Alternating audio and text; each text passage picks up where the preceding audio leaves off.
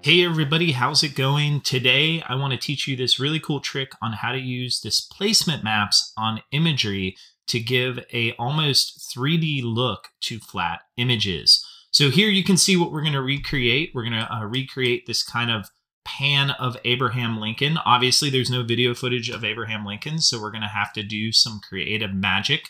And we're going to be using Adobe Photoshop 2024 and Adobe After Effects 2024 to do this. So let's kind of hop on over and look at the picture. I went on Wikipedia and just found this stock image of Abe Lincoln.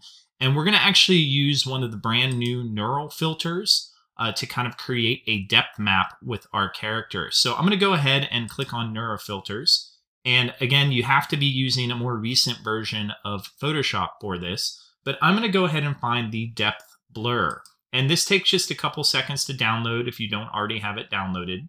I'm going to turn off focus subject and I'm going to play with the focal distance and the focal range just a little bit. And what I'm looking for is essentially blurry ears and cheeks. And then I want to make sure that his face itself is clear and crisp.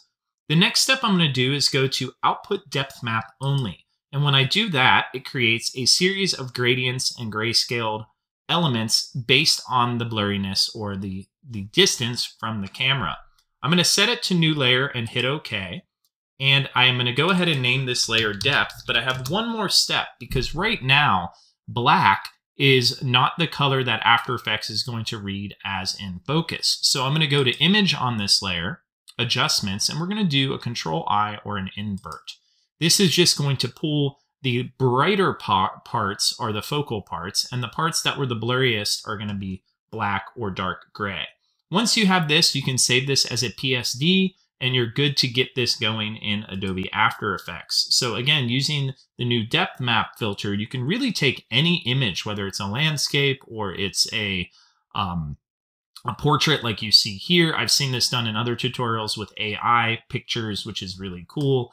Um, and we're going to go ahead and recreate this scene. So to do this, we're going to go ahead and we're going to double click and find our PSD that we just saved, and we're going to make sure it's set to composition. And we're going to go ahead and import that. And what that will give us is essentially this image with two unique layers. Now, what I've done on each of these layers, and I'm going to go ahead and hit delete on these just so you can kind of see them from start. When you first put them in, you have the one layer of the depth map we created, and then we have, if we eyeball that out, the picture of Abe Lincoln. Now, on Abe's layer, I'm going to go to Effects, Distort, Displacement. And I'm going to grab the displacement map here, and I'm going to set the displacement layer to read the depth map. And that's a really important step. Now, if I change the horizontal and vertical displacement by dragging my mouse, you can see immediately we already get some cool depth effects. But the elephant in the room, you can see that it only goes so far. So there's a little trick to getting this to work. Again, we have some good movement here, but we want to avoid this distortion in the background. And that's a really easy fix. That's just going back to your depth map layer, going to effects and adding a bit of fast blur. So if I go to the blur and sharpen effects and I do a fast box blur, I can go ahead and smooth that out. And immediately you're going to go, well, nothing's happening. Let me hop back to the background layer and in the displacement layer, I wanna make sure it reads the effects as well as just that black and white image. So I'm gonna change it to effects and masks. And immediately what you're gonna see, and we're still a little too large here, but you see we have a pretty cool layer in which, you know, we still have an element of, you know, breaking that kind of fourth wall here, but we can get a little bit more dimension with these small movements. So then what I like to do is I like to actually work a little backwards here. I'm going to start at my defaults and I'm going to find the limit of where I can pull Abe in all directions. So you can see I'm getting stretching. So going up, I'm getting just a little less stretching. I'm going to set keyframes on those as well. I'm going to move my cursor up just a little bit and we're going to have him slowly move into place and I'm going to work backwards and just reset those to their default positions and through the magic of stretching the image, we get this depth. Now we are getting a little off track there, so at any point I can just nudge that in and Check that out. How cool is that? So the next thing I did was I added a few different layers to this scene. And so let me rebuild that for you. I'm going to go ahead and just do a new composition.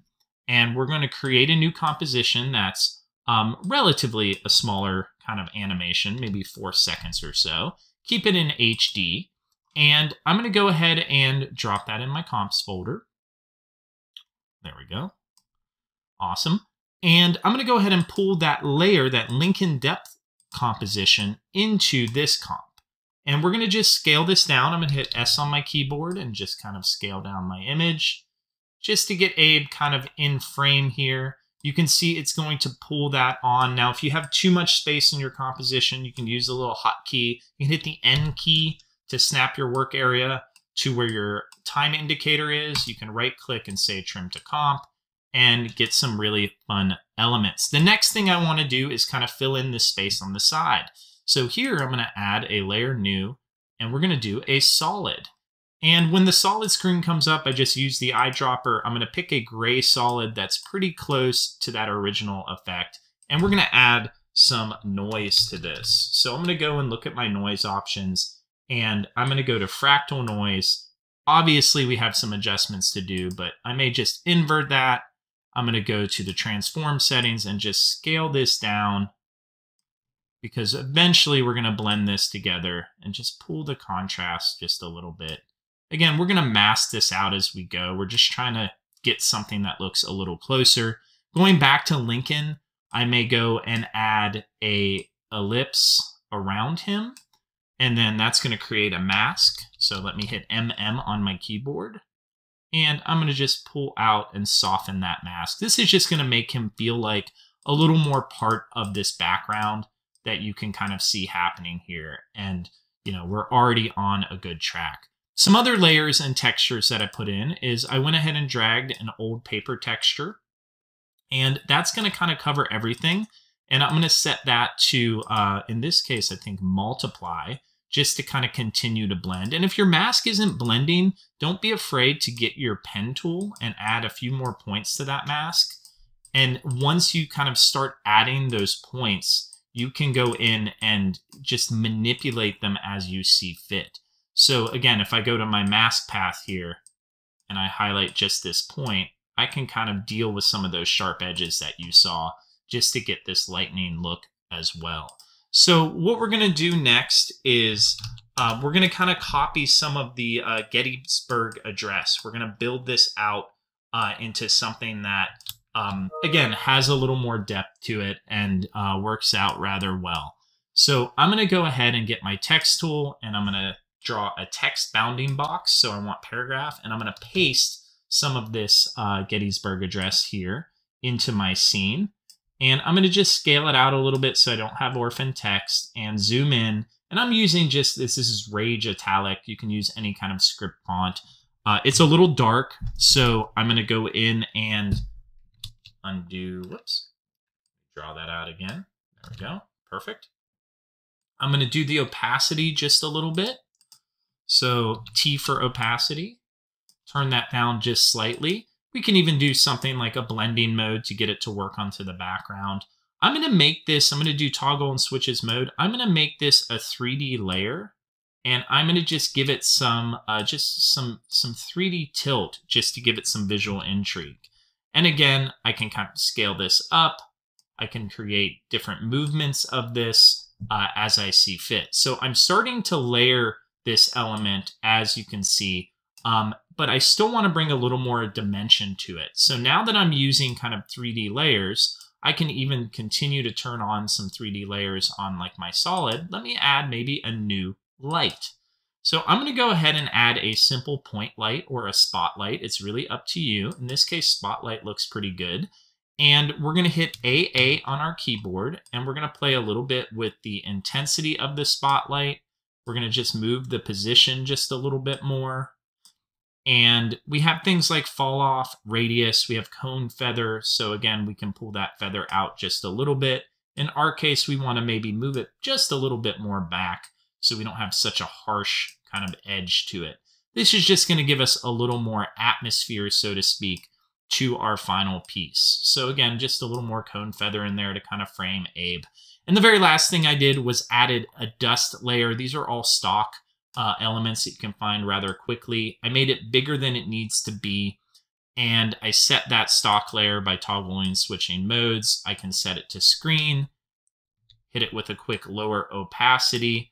And then what I actually did was set a few just basic scale keyframes for the whole piece. So I want to kind of just scale it ever so slowly to feel like it's dusted. So grab a little bit of ease. And there you have it. Just with a little bit of tweaking, we now have a pretty cool 3D effect that gives Abraham Lincoln some life and actually makes him look 3D. I hope you enjoyed this lesson and I can't wait to catch you in the next one. Thanks everybody.